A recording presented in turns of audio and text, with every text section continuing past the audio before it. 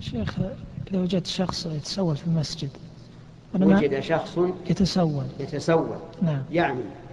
يعني يشهد. يعني ي- يسأل الناس. نعم. مالا طيب. لا- وأنا ما أعرف هل هو غني أو لا. أعطيه أو ما أعطيه.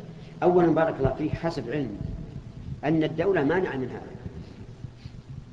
منعا باتا لأن هؤلاء قد يكون بعضهم كاذب. كاذبا. وإذا لم يكن كاذبا شوش على الذين يقومون الصلاة.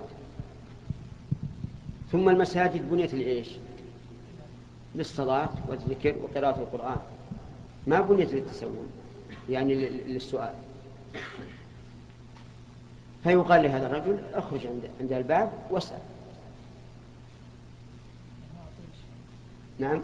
عاد تعطيها وما تعطيها هذا اللي يغلب على ظنك. لكن أصلا السؤال في المسجد من الناحية النظامية ممنوع.